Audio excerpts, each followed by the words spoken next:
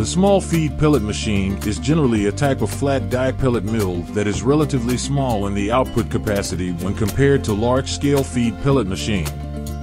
It can be used for farm use, home use, or business use. More important, this animal feed pellet mill price is cheap, ranging from a few hundred dollars to a few thousand dollars. For detailed feed processing machine price, please contact us to confirm the latest price.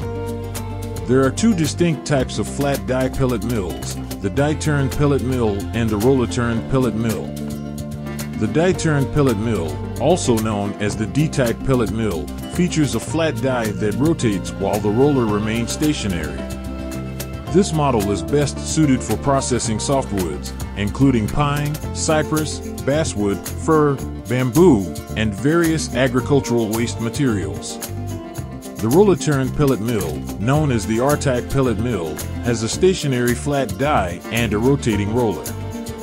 This type of small pellet mill generates higher pressure and is typically utilized for processing hardwoods such as oak, birch, cypress, elm tree, larch, and poplar, among others.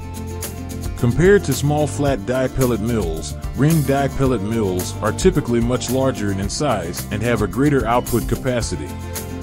As a result, they are commonly used in industrial or commercial biomass pellet production applications.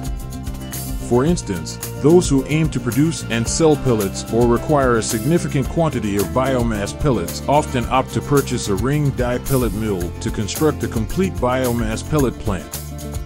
The ring die pellet machine is capable of processing a wide range of materials, including those that are typically challenging to bond and form, due to its powerful compression force.